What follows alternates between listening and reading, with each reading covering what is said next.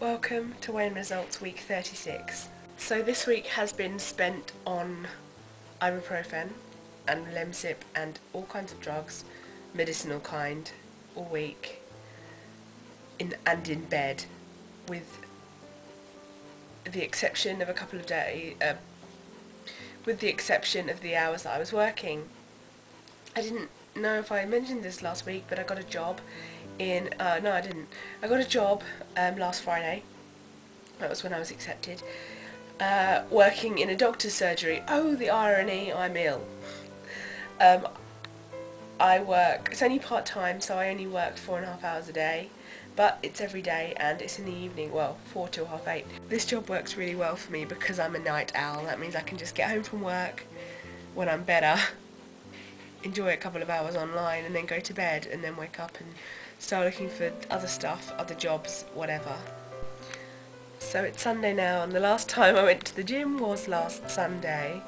So it's been a whole week, haven't done anything this week. Eaten crap, mostly cheese sandwiches, mm, toasted. Um, yeah, I've been really bad. But I've been, I deserve it because I'm really ill. Going from things that I deserve to things that I don't. This week's weighing results. So, last week, okay, the numbers. I never write this down, I always need to remember. Start weight, 315. Last week, 254. This week, 251. Three pounds down. For doing nothing, basically. Why does that, well, I do not deserve it. Why? I know that it's because I uh, I normally do a lot of exercise so that gets my, my metabolism burning up food really quickly and even when I'm not doing exercise it's still doing it which is great, yeah I understand that.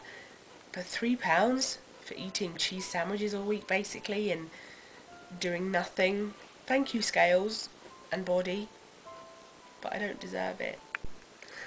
I just wanted to say a massive thank you to all my new subscribers. I have got so many recently. I've got something like 300 since New Year's Eve. Uh, I just reached my 700 mark.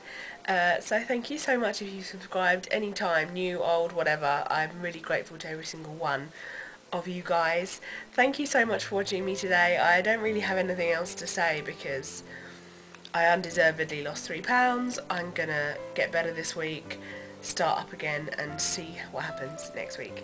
Okay, thanks so much for watching. See you next week. Keep losing, keep smiling, and I'll see you next week. Bye. How's, stop itching. How's your weight loss going? I'm stabilised. Stabilised? Yeah, stabilised, but I do find that with um, Paul McKenna, my downfall still is if I get too much food of the food that I really, really, really love on the plate, it's still tempting to overeat um, even though I know I'm kind of full. So my greed does sort of, uh, you know, sort of come in at the end of that. Mm. But apart from that, it's great. The secret to that is not to, not to put too much of the food that you really love and then you kind of view it in a different way. That's my tip. There you go. That's all you can have today. Thanks. So this week has been a great week for me because I got this new top and these jeans jeans that haven't fitted me for about four years, something like that, something really silly. So it was really fantastic to be able to fit them again and when I first started losing they wouldn't even go to like here, I was, and now they do up. I'm still, this is probably a little small because my tummy comes over them a small bit but I can't wait for them to fit properly.